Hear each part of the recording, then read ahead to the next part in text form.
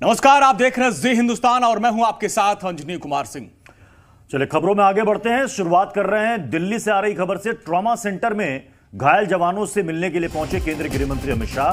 पहलगाम हादसे में आईटीबीपी के जवान घायल हो गए थे। दिल्ली के ट्रॉमा सेंटर में उनका इलाज चल रहा है। वहाँ खुद केंद्रीय गृह मंत्री अमित शाह पहुँचे और जो जवान आईटीबीपी के घायल हुए थे, तीन दिन पहले ये हादसा हुआ था, जिसमें बस एक खड में गिर गई थी और उसमें हमारे कुछ जवानों की मौत भी हो गई थी और कुछ जवान जख्मी हुए थे।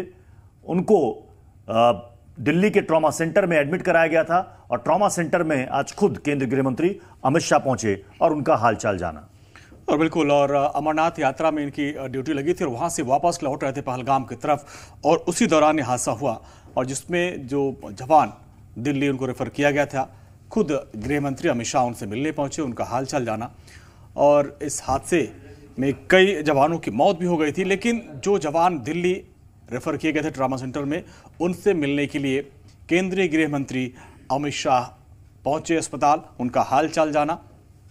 तस्वीरें आप देखिए, जब केंद्रीय गृह मंत्री अमित शाह पहुँचे ट्रामा सेंटर और जवानों का हाल चाल लिया। और ये वो जवान थे जिन्होंने अमरनाथ में जो सैलाब आया था, उसमें रेस्क्यू ऑपरेशन में काफ़ी लोगों को इन्होंने रेस्क्यू किया था।